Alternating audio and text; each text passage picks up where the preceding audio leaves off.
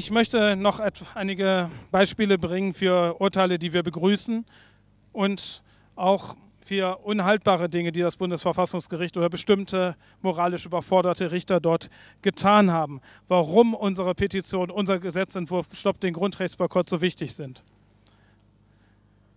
Ja, Bundesverfassungsgericht wie andere Gerichte auch in Deutschland sind, auch weil es ja nicht in der Richterausbildung im Jurastudium nicht ordentlich drangenommen wird, sehr zurückhaltend dabei, die Menschenrechte der UNO anzuwenden. Ein paar rühmliche Ausnahmen waren das Völkerrechtsurteil von 1987. Da wurde zum UNO-Zivilpakt geurteilt. Einen richtigen Schub gab es, äh, UNO-Zivilpakt anzuwenden, als es darum ging, DDR-Unrecht aufzuarbeiten und ähm, weil die DDR war ja nicht ans Grundgesetz gebunden, man musste sich Menschenrechtsverträge nehmen als Grundlage, das aufzuarbeiten, an die die DDR ja auch gebunden war. Zum Beispiel am Mauerschützen 3 Urteil hat man den UNO-Zivilpakt anerkannt, äh, Entschuldigung, angewendet. Und beim Bodenreform 3 Urteil. Das Erstere ist, denke ich, ist wichtig, weil da bestätigt wurde, dass auch die allgemeine Erklärung der Menschenrechte verbindlich ist, denn sie ist die Konkretisierung der Menschenrechte, Ver äh, Verpflichtung auf die Menschenrechte, die schon in Artikel 1 Nummer 3 UNO-Charta steht. Und Bodenreform 3 Urteil hat auch schon genannt den Artikel 1 Absatz 2 Grundgesetz als eine Verbindung zu Menschenrechten der UNO, das leider in dem Urteil aber nicht näher dargelegt. Und es gibt auch ein Urteil vom 18.07.2012, wo der UNO-Sozialpakt und die Kinderrechtskonvention der UNO angewendet wurden. Da ging es um Leistungen für Asylbewerber. Das Wichtige daran ist, dass sie die Menschenrechte der UNO auch mal angewandt haben und sich nicht gedrückt haben.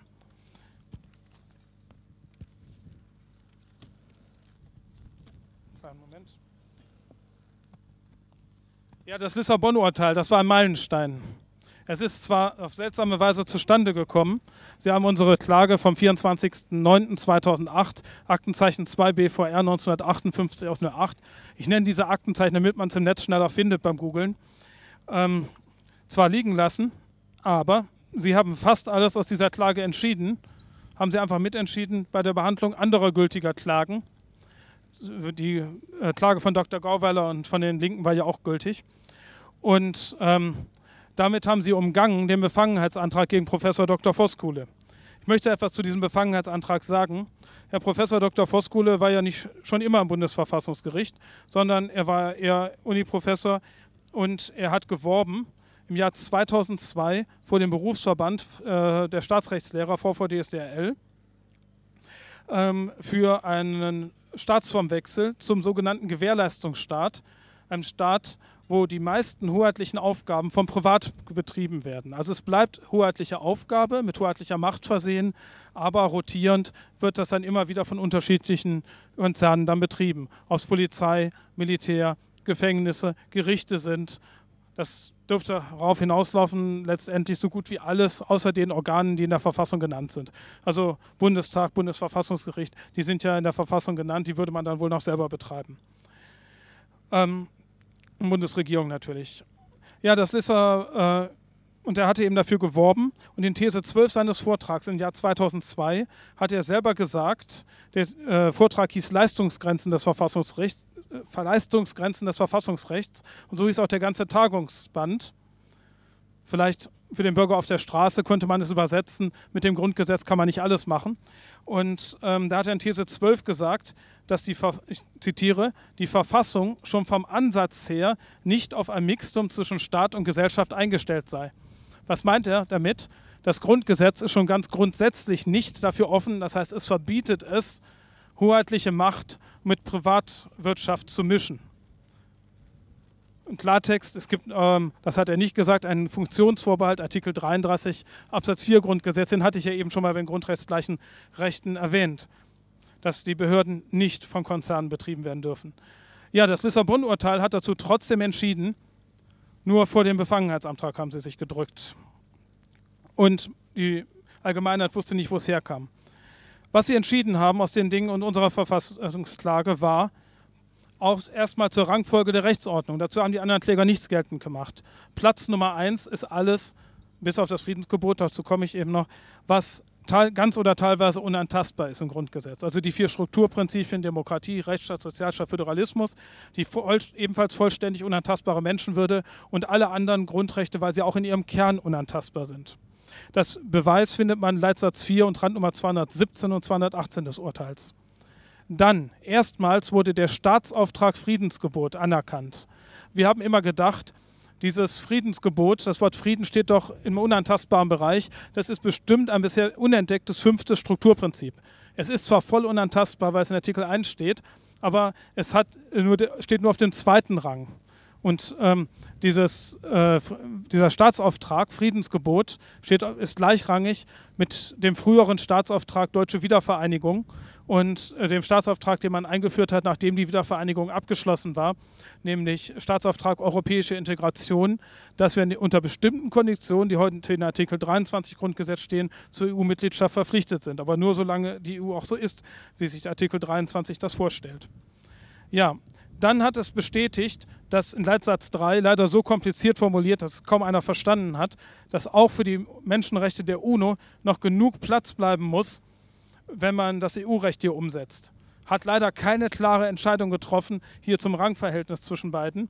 Das spricht da vom äh, wirtschaftlichen, sozialen, kulturellen, bürgerlichen und politischen Raum der Eigenverantwortung. Wer merkt schon, dass damit Menschenrechte gemeint sind, der UNO. Dann hat es entschieden, hat es die Privatisierung des, äh, der hoheitlichen Aufgaben verboten, indem es in zwei Randnummern verteilt das polizeiliche, militärische und zivile Gewaltmonopol des Staates bekräftigt hat. Dass der Lissabon-Vertrag Gummivorschriften eingeführt hat für, für, Kampfeinsätze in aller Welt, Artikel 42 Absatz 5, militärische Missionen für Werte und Interessen und was vorher schon war, drin war äh, im EU-Vertrag, das vom Rang her hochheben wollte, in Artikel 43 Absatz 1 militärische Missionen, also Kampfeinsätze ähm, bei, für Krisenreaktionen. Das hat das Bundesverfassungsgericht leider nicht mit dem Angriffskriegsverbot abgeglichen. Da hätte es noch mehr Grenzen gesetzt, sondern hat gesagt, die Vorschriften der EU für Außen- und Sicherheitspolitik dürfen nicht supranationalisiert werden. Was heißt das? Das heißt, diese Vorschriften für Außen- und Sicherheitspolitik der EU bleiben vom Rang ganz normales Völkerrecht, so wie die meisten völkerrechtlichen Verträge gerade eine Stufe oberhalb der einfachen Gesetze auf nationaler Ebene in den einzelnen Staaten, genauso wie das NATO-Recht. Was hat das zum Ergebnis? Das Ergebnis ist, dass die UNO-Charta, die nach ihrem Anspruch der höchste internationale Vertrag ist, aber noch unterhalb der nationalen Verfassung, dass die mit ihrem Angriffskriegsverbot ähm, über diesen Gummivorschriften der EU für Kampfeinsätze in aller Welt steht. Und natürlich umso mehr das noch strengere Angriffskriegsverbot des Grundgesetzes, was ja schon die Störung des friedlichen Zusammenlebens der Völker verbietet. Und es hat leider auch entschieden, den Ranganspruch des EU-Rechts, was ja über allem stehen will, soweit das Lissabon-Urteil nicht selber Ausnahmen gemacht hat. Ausnahmen, habe ich ja gesagt, für Grundrechte, Strukturprinzipien, Staatsauftrag, ähm, Friedensgebot, Auftrag europäische Integration. Aber zumindest die Verträge der EU, soweit es da nicht um Außen- und Sicherheitspolitik steht, geht, steht über, dann über dem Rest des Grundgesetzes. Das hat es leider bestätigt. Das Grundgesetz erlaubt diesbezüglich mit den Verträgen der EU nur einen Gleichrang. Also das, was nicht unantastbar ist, das Grundgesetz, nur ein Gleichrang.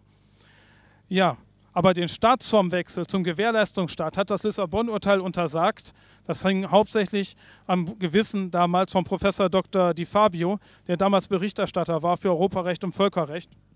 Obwohl der Präsident, das spätere Präsident, heutige Präsident des Bundesverfassungsgerichts, damals schon Vorsitzender des Zweiten Senats, Professor Dr. Voskuhle, ja befangen war. Das war ja Teil seines Lebenswerks, daran zu forschen, wie, auf welche Weise und wie viel kann man an hoheitlichen Aufgaben an Privat vergeben, ohne dass der Staat völlig die Kontrolle verliert.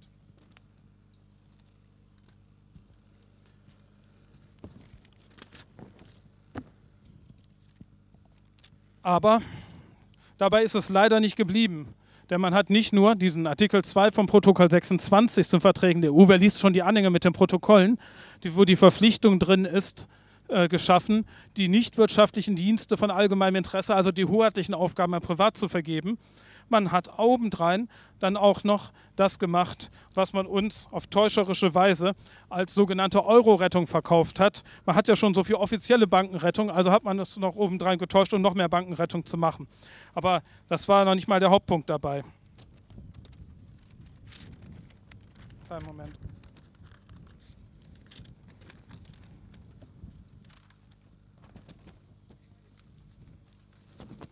Ja, wir haben bewiesen, ähm, wie das Ganze konstruiert ist. Also einmal, da waren lauter Kompetenzüberschreitungen.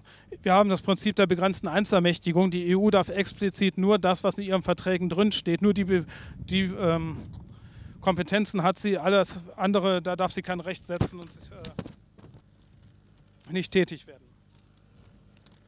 Und wir haben ja schon gesehen, im Lissabon-Urteil, das ähm, ging mehr auf Dr. Gauweiler zurück. Da wurde eine Gummivorschrift oder wie die Verfassungsrichter sagen, Blankettermächtigung untersagt. Die Flexibilitätsklausel, ähm, das Maastricht-Urteil des Bundesverfassungsgerichts hat schon untersagt, die Binnenmarktklausel der EU als Gummivorschrift als Blankettermächtigung zu benutzen. Ja, und darum hat man jetzt im Namen der Euro-Rettung, was nichts anderes ist als Bankenrettung oder was da steht in ähm, Artikel 136 Absatz 3 EU-Vertrag geschaffen, was eigentlich nur zwei Sätze sind. Deswegen nannte man es kleine Vertragsänderung, aber es ist eine Gummivorschrift, eine Blankettermächtigung hat es die in sich. Da steht eben drin, dass die Mitgliedstaaten, die einen Euro haben, einen Mechanismus schaffen können und ähm, dass sie den aktivieren müssen, wenn es unbedingt notwendig ist für die Stabilität des Euro-Währungsgebiets als Ganzes. Und soweit es da Finanzhilfen gibt, müssen die mit strengen Auflagen verbunden sein. Wie streng haben die Finanzminister, Wirtschafts- und Finanzminister 9. Mai 2010 festgelegt? In einer Resolution haben sie gesagt, streng wie beim Internationalen Währungsfonds. Und der hat halt sehr viele Länder kaputt gemacht. Und diese kleine Vertragsänderung, diese Gummivorschrift ist dafür da, das haben wir bewiesen, die ganzen Ermächtigungslücken zu füllen. Sowohl für diese vier Mechanismen mit der sogenannten Troika, also wo die EU-Kommission die Auflagen entwirft, unterstützt von der Europäischen Zentralbank und dem Internationalen Währungsfonds, aber streng wie der Internationale Währungsfonds namens Griechenlandhilfe, EFSM, EFSF und ESM, so heißen diese vier Mechanismen. Der vierte eben noch mit dem Staateninsolvenzverfahren hinten äh, dabei was aber nicht in dem ESM-Vertrag drinsteht, sondern in den Zusatzklauseln für die Staatsanleihen. Und dass man diese Klausel macht, das steht im ESM-Vertrag drin. Und für das, was man die EU-Wirtschaftsregierung nennt. Damit ist gemeint, ähm, Auflagen machen, ohne Geld zu geben. Nämlich der verschärfte Stabilitäts- und Wachstumspakt, wo man Auflagen machen kann, wenn die Staaten zu hohes Haushaltsdefizit machen die, das Ungleichgewichtsverfahren, wo man Auflagen machen kann, wenn die Staaten eigentlich gar kein Problem haben. Man nimmt einfach eine ganze Menge volkswirtschaftliche Kenngrößen, macht Ober- und Untergrenzen und jeder Staat, der irgendwo über der Obergrenze ist oder unter der Untergrenze, da macht man dann Auflagen. Und die haushaltsmäßige Überwachung, schon die Haushaltsentwürfe mit reinreden können, um Defizite zu verringern. Ja, und dafür hat man diese Gummivorschrift gemacht und die, die Auflagen müssen immer streng sein wie beim IWF. Ähm, Aktenzeichen SN 2564 110. Das ist das, wo wir das wieder strenge gesagt haben. Ja, wie streng ist der IWF? Wir haben natürlich Literatur gewälzt. Wir haben uns angeschaut den Bericht von Professor Dr. John Ziegler. Der war UNO-Sonderberichterstatter für das Menschenrecht auf Nahrung, Artikel 11 UNO-Sozialpakt. Und der hat gesagt, zum, da ging es um den Hunger in der Welt, dass die Sparauflagen von Internationalen Währungsfonds und Weltbank Hauptgrund Nummer zwei für den Hunger in der Welt sind. Texte von 69c seines Berichts vom 7.2.2001. Ich frage mich, wollen wir das für Europa? Wir haben gelesen, und da waren die meisten Fundstellen, Professor Dr. Michel Schossudowskis Buch 2003 veröffentlicht, The Globalization of Poverty in the New World Order, also Globalisierung der Armut in der neuen Weltordnung, erschienen bei Global Research auf Englisch. Demnach haben Sparauflagen von IWF und Weltbank beigetragen zur Schädigung von Gesundheitssystemen, in den, ähm, unter anderem in Somalia, Ruanda, Bangladesch, Vietnam, Brasilien, Peru, Albanien und zu Hunger in Somalia, Ruanda, Mosambik, Äthiopien, Simbabwe, Malawi, Bangladesch, Vietnam, Brasilien, Peru und selbst bei den Atommächten Russland und Indien. Weitere Beispiele der Zerstörung von Gesundheitswesen und Ernährung durch den Internationalen Währungsfonds findet man außerdem in der 1987 veröffentlichten Studie ähm, von UNICEF Adjustment with a Human Face, Anpassung mit einem menschlichen Antlitz, haben sie damals gefordert. Der ehemalige IWF-Mitarbeiter Davison Buto aus Grenada hat 1991 im Vorwort von Genug ist genug, was 1992 über die damals noch ja, recht mutige Heinrich-Böll-Stiftung veröffentlicht worden ist, in Nummer 2 seines Vorworts auf Seite 10 ausgesagt, dass UNICEF im Dezember 1988, Zitat, nach einer gewissenhaften und genauen Untersuchung, Zitat Ende, Budos, Zitat, Vorwurf des IWF-inspirierten Völkermordes in der Dritten Welt unterstützt, Zitat Ende, habe. Auf Seite 12 des gleichen Vorworts hat Davison Budo unter Berufung wieder auf UNICEF ausgesagt, dass der Internationale Währungsfonds die Weltbank, Zitat, seit 1982 für den Tod von bis zu sieben Millionen Kindern unter fünf Jahren verantwortlich, Zitat Ende, gewesen sind.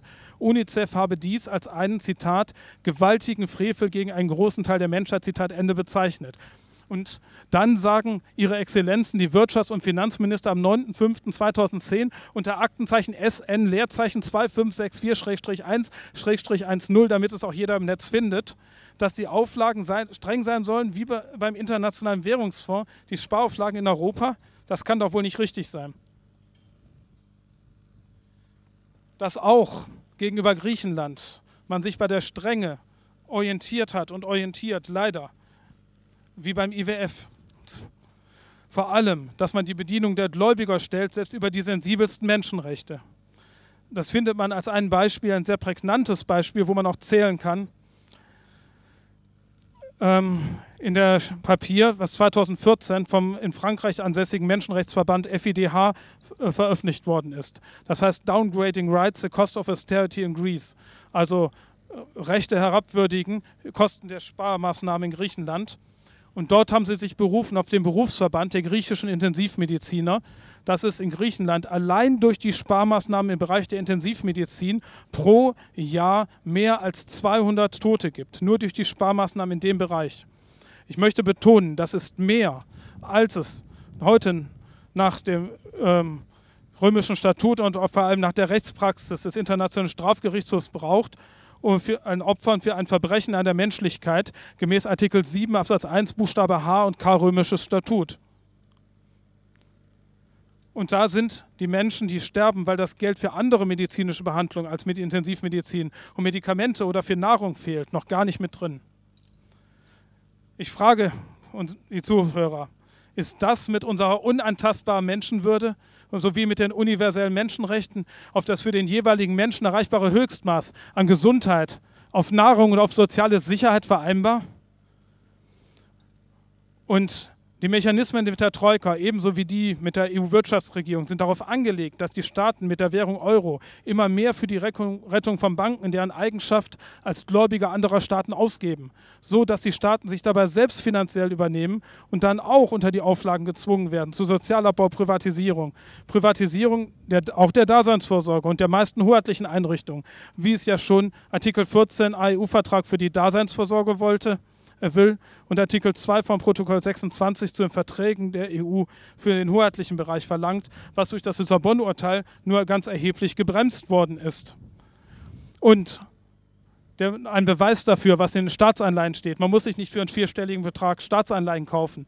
Man kann es auch finden in, in der deutscher Gründlichkeit die Vorschriften für das Staateninsolvenzverfahren des ESM auch abgesichert im Paragraph 4a bis 4k Bundesschuldenwesengesetz. Diese Paragraphen sind ausdrücklich mit einem Begleitgesetz zum ESM dort eingefügt worden. Drucksache 17-9049. Und da steht in dieser Drucksache drin, dass das, was man da einfügt, in diesen Paragraphen, das ungefähr ist, was in diese Klauseln reinkommt. Man will uns also den souveränen Staatsbankrott verbieten, ganz anders als beim Waldenfels-Urteil, beim Deutschland-Staatsbankrott nach dem Zweiten Weltkrieg, wo es damals noch hieß beim Bundesverfassungsgericht, dass äh, nur der Schuldnerstaat selber das letzte Entscheidungsrecht hat darüber, äh, über das Ausmaß seiner Entschuldung und dass, es, es da, dass er einen Spielraum wahren muss, den er hat, äh, dass die Entschuldung dazu führen muss, dass er noch genug demokratischen Spielraum hat und noch genug Spielraum hat, seinen sozialen Verpflichtungen nachzukommen.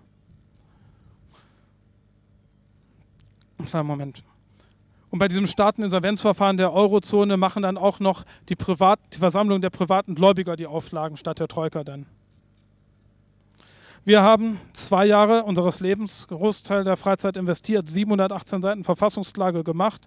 Der Kern war Verletzung der Demokratie und des Wahlrechts durch alle Kompetenzüberschreitung und durch alle Nutzung und Einfügung von Gummivorschriften und Verletzung der Menschenwürde und Verletzung der universellen Menschenrechte auf Nahrung aus Artikel 11 UNO-Sozialpakt, auf soziale Sicherheit aus Artikel 9 UNO-Sozialpakt, auf das Höchstmaß, das für jeden Menschen erreichbare äh, Höchstmaß an Gesundheit aus Artikel 12 UNO-Sozialpakt und natürlich aus dem Grundgesetz Artikel 33 Absatz 4 Grundgesetz, denn auch diese Mechanismen sind dafür gemacht, letztendlich die, die Privatisierung des Hoheitlichen durchzusetzen.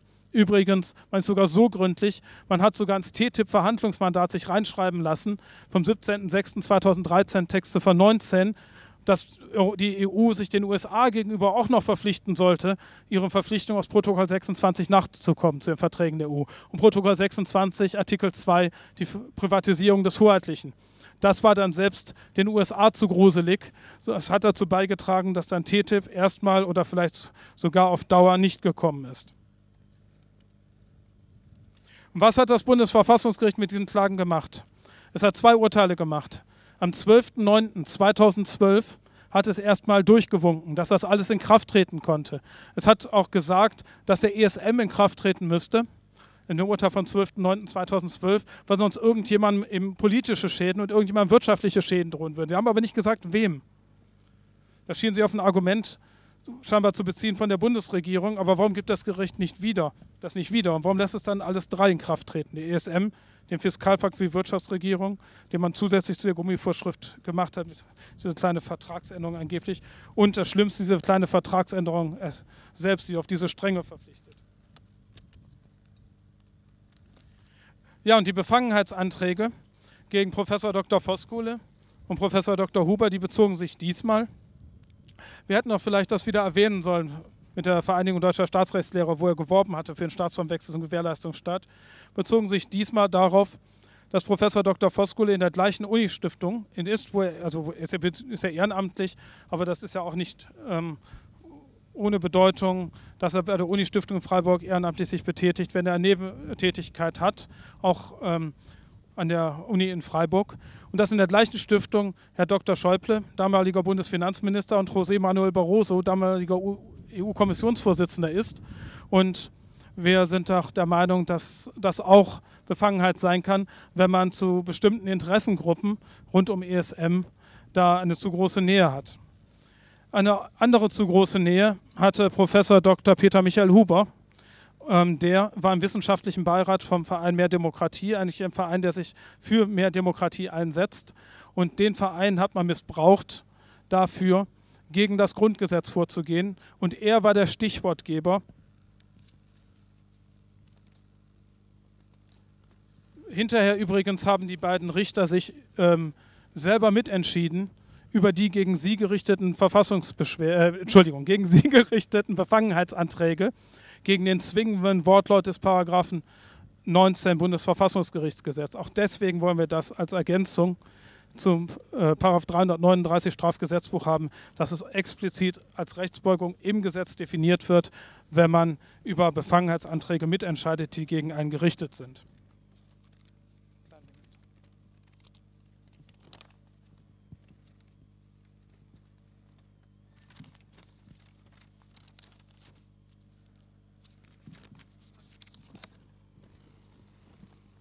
Komme jetzt zum Thema äh, Revolution in Anführungsstrichen. Ich sage Anführungsstriche, weil es ein Zitat von Professor Dr. Huber selbst ist.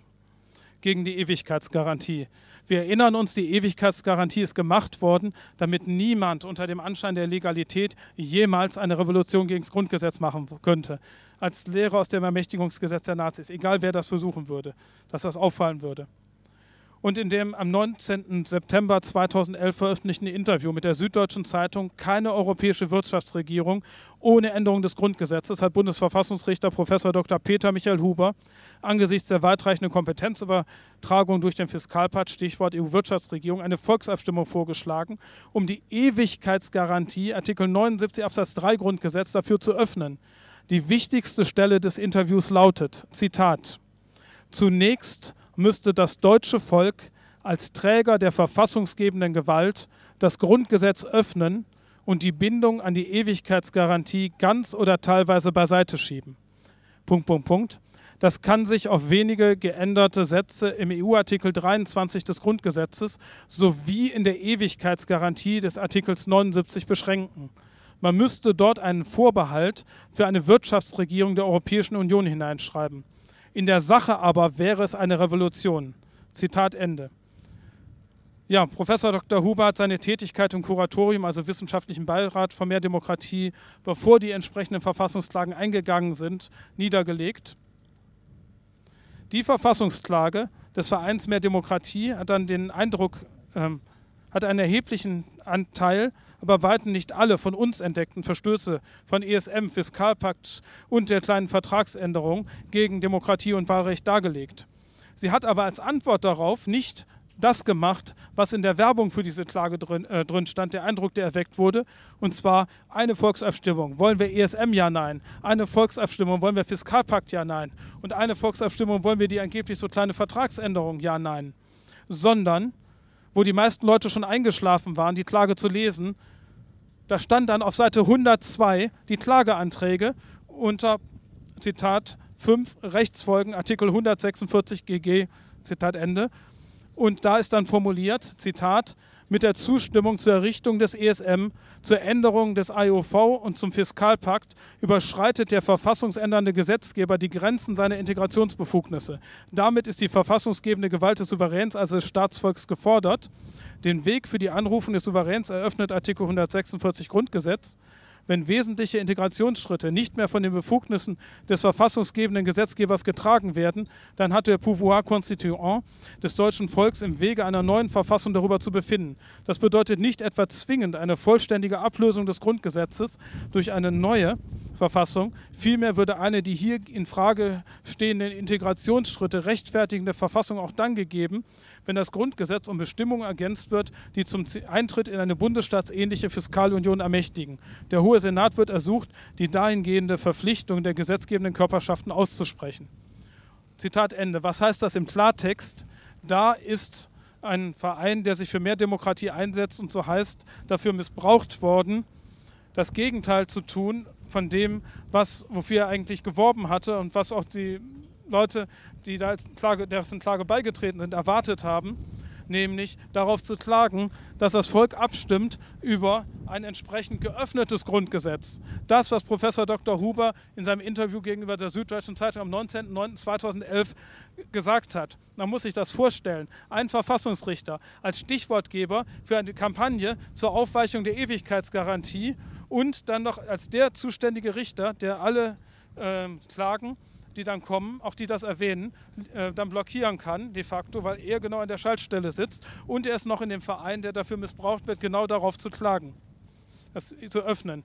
Da haben nicht nur wir aufgeschrien und haben das klar gemacht, dass das mit dem Grundgesetz nicht geht. Das stand schon in unserer Verfassungsklage, seltsamerweise die einzige, die liegen gelassen wurde, sondern auch vier prominente ehemalige Verfassungsrichter. Professor Dr. Hubers Vorgänger, Professor Dr. Dr. Udo Di Fabio, hat äh, eine Eigenschaft als Berichterstatter für Verfassungsklagen mit Schwerpunkt Europarecht und Völkerrecht, hat dies getan, indem am 9.07.2012 veröffentlichten Spiegel-Interview Hände weg vom Grundgesetz. Der Vorgänger von Professor Dr. Voskuhle als Präsident des Bundesverfassungsgerichts, Professor Dr. H.C. Hans-Jürgen Papier, hat ähm, in dem am 28.06.2012 veröffentlichten Interview der Bild-Zeitung sich geäußert mit dem Überschrift Finger weg vom Grundgesetz. Professor Dr. Roman Herzog, ehemaliger Präsident des Bundesverfassungsgerichts und ehemaliger Bundespräsident, hat sich geäußert in dem am 14.07.2012 in der Wirtschaftswoche veröffentlichten Interview. Altbundespräsident Herzog, das Grundgesetz verbietet nicht die Staatspleite. Professor Paul Kirchhoff, hat sich geäußert in seinem am 12.07.2012 veröffentlichten Gastartikel in der Frankfurter Allgemeinen Zeitung Paul Kirchhoff zur Krise in der EU-Verfassungsnot. Es ist gut, dass einiges an Transparenz geschaffen worden ist. Darunter durch die Berichterstattung in der Zeitung Die Welt, was wir vor allem zu verdanken haben dem einem mutigen Journalisten in der Zeitung Der Welt namens Günter Lachmann, durch unseren Freund Felix Daracek, der damals viele Menschen angeschrieben hat und darauf aufmerksam gemacht hat, wie der Verein Mehr Demokratie ganz im Gegen, zum Gegensatz der Interessen seiner Mitglieder und im Gegensatz zum Grundgesetz missbraucht worden ist. Und das hat erheblich dazu beigetragen, dass letztendlich am 12.09.12 doch nicht entschieden wurde, diese Volksabstimmung, ähm, dass die Ewigkeitsgarantie geöffnet werden sollte. Es ist nämlich wichtig zu wissen, auch deutsche Geschichte, ich gehe mal einen Moment zurück, damit man begreift, was das bedeutet hätte fürs Grundgesetz. Es gibt ein Gesetz, äh, Verfassungsgerichtsurteil, der Name hört sich unscheinbar an, Hypothekensicherheitsgesetzurteil. Äh, da hat sich jemand auf die Weimarer Reichsverfassung bezogen und auf Rechte aus der Weimarer Reichsverfassung, ich glaube Grundrechte. Und das Hypothekensicherungsgesetzurteil hat klargestellt, dass der Bezugspunkt hier die Grundrechte des Grundgesetzes sind und hat gesagt, dass das hat entschieden damals, dass das Ermächtigungsgesetz der Nazis die Weimarer Reichsverfassung so umgehbar gemacht hat, dass sie vom Rang abgestürzt ist auf den Rang eines einfachen Gesetzes. Was ist die Folge? Jedes einfache Gesetz ist spezieller formuliert als eine Verfassung, geht also vor. Das setzt dann höchstens noch Verwaltungsanweisungen Grenzen, aber keinem Gesetz mehr. Und damals hat das Ermächtigungsgesetz der damaligen Reichsregierung der Nazis erlaubt, selbst an dem von Nazis Parlament, nur noch von Nazis äh, besetzten Parlament vorbei und an allen verfassungsmäßigen Bestimmungen vorbei Gesetze zu machen. Hier was hier in Rede stand, war eine Öffnung des Grundgesetzes, das Volk sich beschließen lassen, dass die Ewigkeitsgarantie keinen Schutz mehr bieten soll, hier vor dem Fiskalpakt. Aber dass es nicht nur um den Fiskalpakt ging, sondern um mehr, als in dem Interview angedeutet wurde, das findet man dann an der unhaltbar engen Auslegung der Ewigkeitsgarantie in den Urteilen vom 12.09.2012 und nochmal abschließend, als diese Mechanismen längst in Kraft waren, haben sie noch ein abschließendes Urteil am 18.03.2014 gemacht. Zu Beweiszwecken muss ich ein paar Randnummern zitieren, es ist einfach wichtig. So heißt es in dem Urteil vom 12.09.2012. Also die Ewigkeitsgarantie schützt ja nach ihrem Wortlaut den ganzen Artikel 1 und den ganzen Artikel 20. Nochmal zur Wiederholung. So heißt es im Urteil vom 12.09.12, Randnummer 91. Zitat. Die Verfassungsbeschwerden sind nicht von vornherein unzulässig, soweit die Antragsteller eine Verletzung in ihren Rechten aus Artikel 38 Absatz 1, das ist das Wahlrecht, Artikel 20 Absatz 1 und Absatz 2, damit meinen sie die Demokratie, und ähm, in Verbindung mit Artikel 79 Absatz 3 Grundgesetz geltend machen. Hinsichtlich der übrigen Rügen sind die Verfassungsbeschwerden dagegen unzulässig. Und Randnummer 109 im Sinne des Identität, im Sinne des Identitätskerns der Verfassung, Klammer auf, Artikel 20 Absatz 1 und Absatz 2, Artikel 79 Absatz 3 Grundgesetz, Zitat Ende. Und Randnummer 118, Zitat, Artikel 79 Absatz 3 Grundgesetz gewährleistet nicht den unveränderten Bestand des geltenden Rechts, sondern Strukturen und Verfahren, die den demokratischen Prozess offen halten. Zitat Ende. Das heißt, sie haben hier so getan, als würde die Ewigkeitsgarantie nur die Demokratie unantastbar machen haben also das Sozialstaatsgebot, den Föderalismus und die Rechtsstaatlichkeit und insbesondere die Menschenwürde völlig ausgeblendet. Und das hat Folgen, denn wenn Sie den Schutz des, der Ewigkeitsgarantie für die Menschenwürde ausblenden, ich verweise auf die Rede von Iris, die Menschenwürde ist ja der Grundlage für das Friedensgebot, für die Verbindung zu den universellen Menschenrechten und dafür die, auch für die Unantastbarkeit des Wesensgehalts, des Kerns aller anderen Grundrechte und auch dafür, dass alle staatlichen Gewalten diese Grundrechte einhalten müssen. Das, dieses Urteil war schon in etwa das, was Professor Dr. Huber als Revolution bezeichnet hat. Nur ein noch so krasses Fehlurteil bringt eine verfassungsmäßige Ordnung nicht zum Absturz. Hätte das Volk aber nichts ahnend durch eine Werbekampagne verführt, dann der Öffnung der Ewigkeitsgarantie zugestimmt, so wie es ursprünglich angedacht gewesen ist, dann wäre unser Grundgesetz gecrasht, dann wäre es abgestürzt auf einen einfach gesetzlichen Rang. Am 18.03.2014 weitere Zitate, die haben es nicht abgemildert, da haben sie geschrieben. Kleinen Moment. in Randnummer 159, Punkt, Punkt, Punkt, die Grundsätze des Demokratiegebots im Sinne von Artikel 20 Absatz 1 und Absatz 2 Grundgesetz, die Artikel 79 Grundgesetz als Identität der Verfassung auch vor dem Zugriff des verfassungsändernden Gesetzgebers schützt. Punkt, Punkt, Punkt. Sagt Ende und Randnummer 164. Da steht, Zitat, im Sinne des Identitätskerns der Verfassung. Artikel 20 Absatz 1 Absatz 2, Artikel 79 Absatz 3 Grundgesetz. Zitat Ende. Und Randnummer 179. Da steht, Zitat, ob der Deutsche Bundestag der Einführung des Artikels 136 Absatz 3 AV unter Wahrung des durch Artikels 79 Absatz 3 geschützten Kernbereichs zustimmen durfte. Zitat Ende. Das heißt, sie haben die Ewigkeitsgarantie auf die Demokratie verengt ausgelegt, als wären wir Bürger nur noch zum Wählen da, als wären wir Stimmvieh, als wären wir nur die Mündel der Abgeordneten, als käme uns keine Würde mehr zu. Das ist in eine in Anführungsstrichen Revolution gegen das Grundgesetz und das muss unterbunden werden.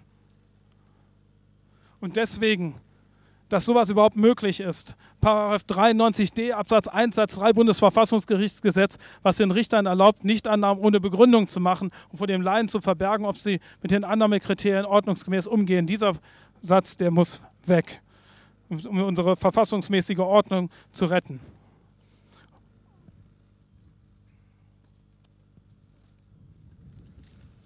Ich möchte noch wagen, wie Sie mit, dem, äh, mit den Syrienklagen umgegangen sind.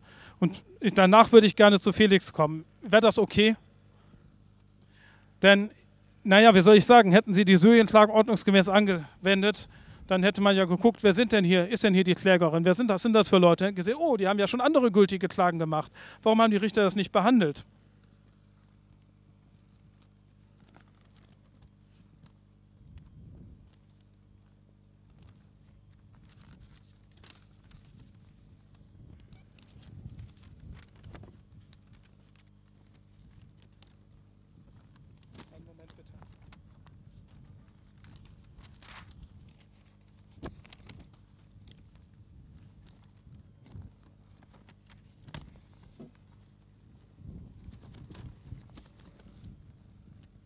Ja, das Lissabon-Urteil hat ja äh, den Gummivorschriften der EU für Kampfeinsätze in aller Welt Grenzen gesetzt. Habe ich ja eben erzählt.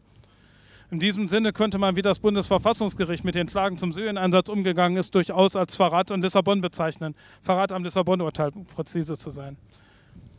Meine Frau und ich haben drei Verfassungsklagen eingereicht gegen den Beschluss des Bundestags ähm, über Syrien-Einsatz der Bundeswehr. Präziserweise die ersten beiden gegen den ersten Beschluss, die dritte gegen den zweiten Beschluss, über die Verlängerung eben Beschluss.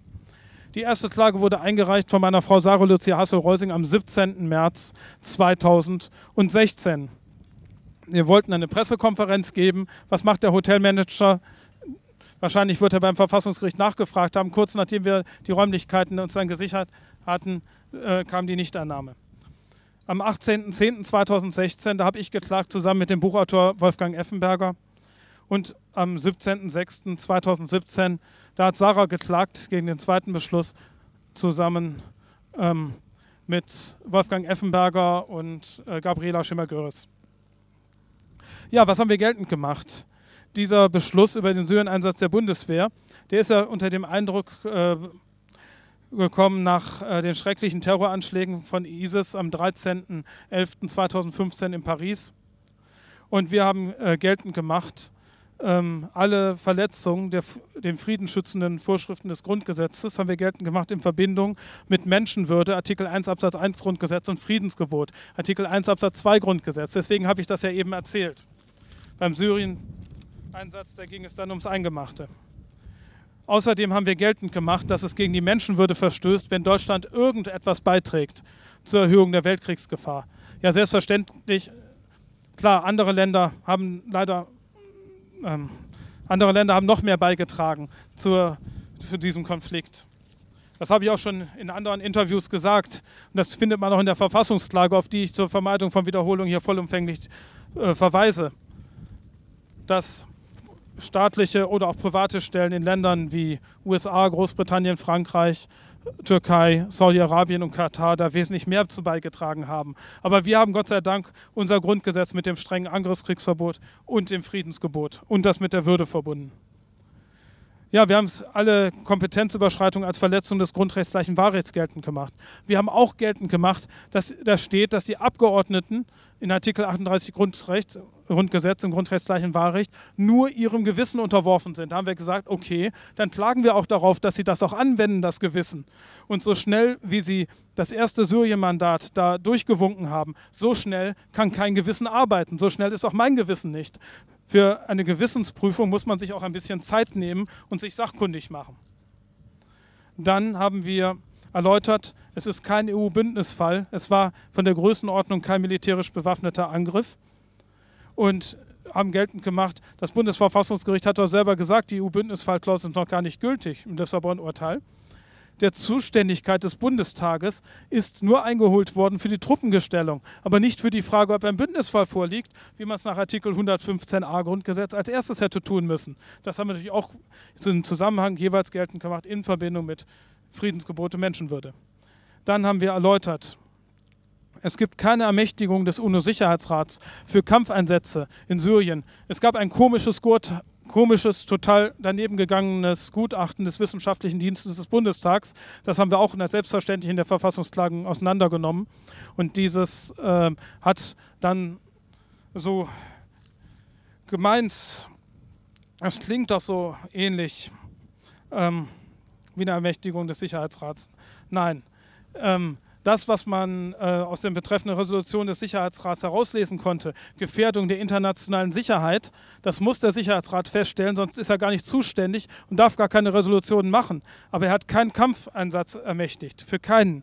Er hat in den Resolutionen, vor allem die aus Dezember, 2000, äh, 2015, ähm, da hat er alle möglichen nicht militärischen Mittel, vor allem immer schärfere Wirtschaftssanktionen gegen ISIS, gegen Al-Qaida und gegen alle möglichen Unterstützer von denen ähm, gemacht. Und was klar war, dass er damit darauf gesetzt hat und keine militärischen Einsätze. Und da es kein Bündnisfall war, gab es im EU-Recht nur diese Gummivorschriften für Kampfeinsätze in aller Welt, militärische Missionen für Werte und Interessen und zur Einmischung in andere Länder Krisen. Und wir haben bewiesen, anhand dieser Begriffe Werte und Interessen, dass das der Tonfall ist von den Leuten von der Ideologie der humanitären Intervention. Wir haben bewiesen, dass die humanitäre Intervention aus einer äh, Studie stammt von einem äh, Think Tank, einer Denkfabrik oder wie es richtig übersetzt wird, Denkpanzer ähm, zur Außen- und Sicherheitspolitik, was eigentlich immer Kartelle sind aus Banken, Medien oder Leute aus Schaltstellen in Medien und Rüstung. Klar, und die beraten die Politik und die können auch ihre Dinge als Propaganda in ansonsten freie Berichterstattung einstreuen und auch auf diese Weise die Politik in ihre Richtung lenken.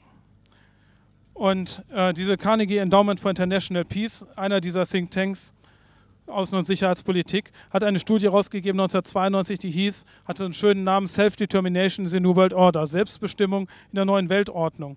Und dort hat man in dieser Studie dann das postuliert, äh, mit dieser humanitären Intervention als letztes Mittel auch militärische Mittel. Aber das, der Punkt war am Sicherheitsrat vorbei. Und der Punkt war, ähm, es gibt auch eine Resolution aus 2005, die sogenannte Schutzverantwortung gegen Völkermord und gegen Verbrechen an der Menschlichkeit, wenn das bei kriegerischen Auseinandersetzungen sind.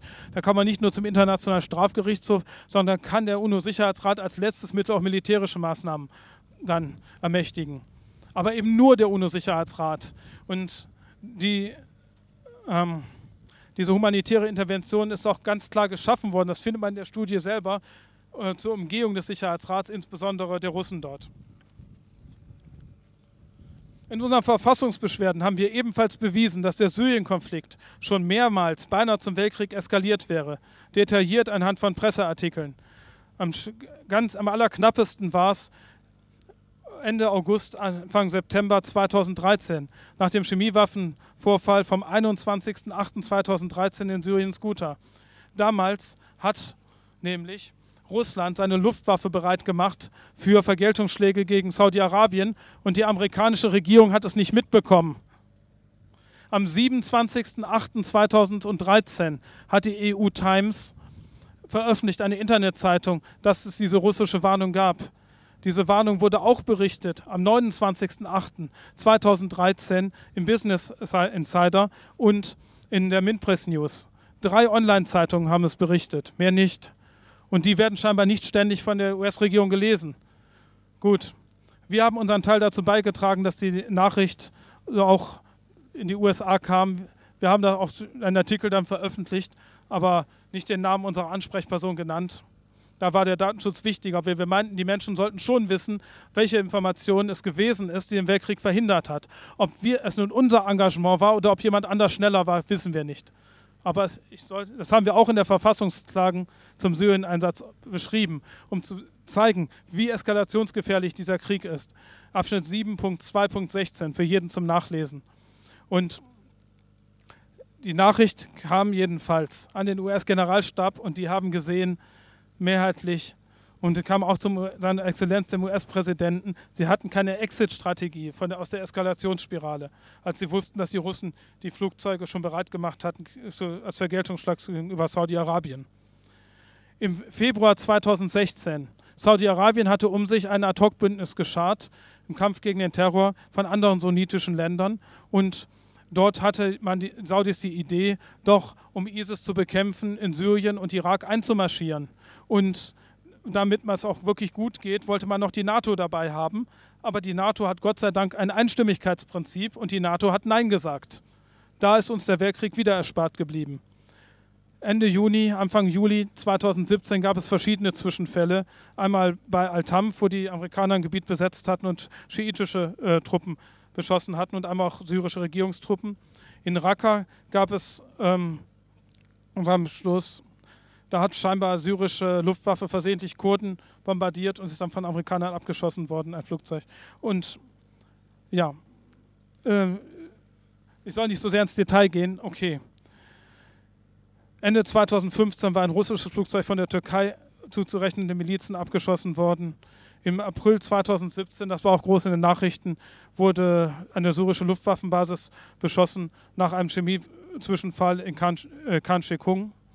Und im April 2018 gab es ja das aller Ansicht nach, äh, aller Wahrscheinlichkeit nach gestellte, äh, gestellte Video von dem Weißhelm von Duma, von einem gestellten höchstwahrscheinlich gestellten Chemiewaffenzwischenfall, den es so gar nicht gegeben hat. Und wo dann Amerikaner, Briten und Franzosen wieder Syrien bombardiert haben. Aber das war Gott sei Dank so, dass sie nicht allzu viel Zerstörung angerichtet haben. Die große Eskalation ist verhindert worden.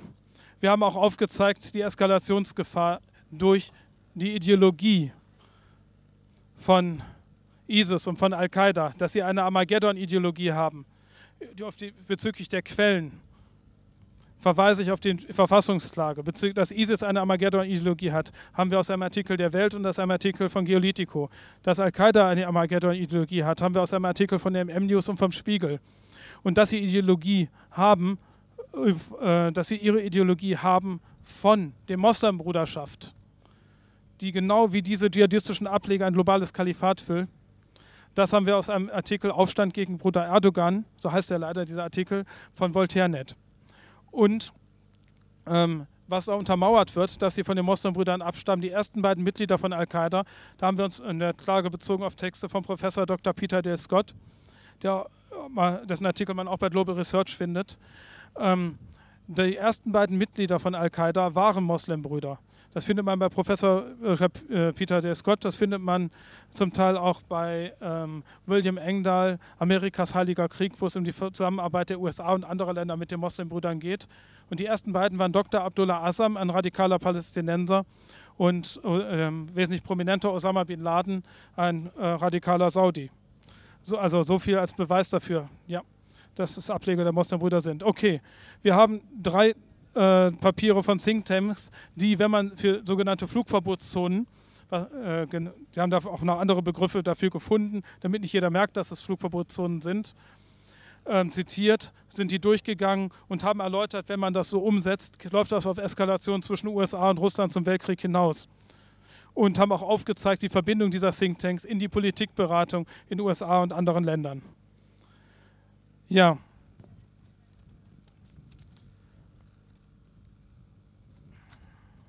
Diese Verfassungsklagen haben was gebracht. Wir haben zumindest viel Öffentlichkeit geschaffen, denn beim dritten Anlauf sind wir erst auf die großen Online-Medien zugegangen, erst auf die großen alternativen Medien, bevor wir eingereicht haben. Das Medieninteresse ist ja so lange da, solange die Richter nicht Nein sagen. Und Nein sagen können sie erst, wenn man einreicht. Also sind wir, waren wir dann endlich so schlau, erst an die Medien zu gehen. Beim zweiten Anlauf durften wir unsere Klage in Grundzügen ein paar Minuten vorstellen beim Kongress der Gesellschaft für internationale Friedenspolitik. Und Gott sei Dank, einer der Gäste reiste einen Tag später nach Moskau und einer reiste einen Tag später nach, nach China, sodass auch da zumindest ein Potenzial bestand, auch Menschen dort auf unsere dann natürlich im Netz befindliche Klage, für jeden lesbare Klage aufmerksam zu machen. Das heißt, für die Bewusstwerdung über die akuten Eskalationsgefahren haben wir einiges beitragen können. Hätten die, wären diese Klagen ordnungsgemäß behandelt worden, damit möchte ich schließen, wäre allerdings längst international nicht nur dem Artikel 42 Absatz 5 EU-Vertrag Grenzen gesetzt worden, und zwar auch anhand Angriffs, des Angriffskriegsverbots der UNO-Charta und, und, und anhand des noch strengeren Angriffskriegsverbots aus Artikel 26 Grundgesetz, sondern es wäre diese Ideologie der humanitären Intervention, einfach am Sicherheitsrat vorbei Krieges, äh, Kampfeinsätze zu machen, nur zum, wegen Menschenrechtsverletzungen oder Kriegsverbrechen, anstatt den Weg nach Den Haag zu suchen, das wäre international längst weltweit geächtet. Und wir sind jetzt wieder vor einer Situation, wo der, das russische Verteidigungsministerium sagt, sie befürchten, dass die Weißhelme eine Volksfleck-Attacke machen in Idlib, um den Vormarsch der syrischen Armee zu stoppen. Und das, auch das kann wieder zum Weltkrieg eskalieren, wenn man sieht, wie viele Schiffe der Amerikaner und der Russen davor gefahren sind. Die jetzige Eskalationsgefahr zum Weltkrieg, die nur deshalb noch nicht akut ist, weil es zu diesem Zwischenfall noch nicht gekommen ist, Diese Eskalationsgefahr hätten wir uns vollkommen sparen können, hätte das Bundesverfassungsgericht wäre seiner Pflicht nachgekommen. Und darum kann ich nur sagen, 93d Absatz 1 Satz 3 Bundesverfassungsgerichtsgesetz muss weg. Er und Dank sei dem Parlamentarischen Rat, der dieses Grundgesetz geschaffen hat und stoppt den Grundrechtsboykott. Ich möchte nun, ich bedanke mich für seine außerordentlichen Geduld, einen wichtigen Zeitzeugen zu Wort kommen lassen, der mehr als jeder andere dazu beigetragen hat, dass es diese Volksabstimmung für das Öffnen der Ewigkeitsgarantie nicht gegeben hat. Ich begrüße Felix Daracek.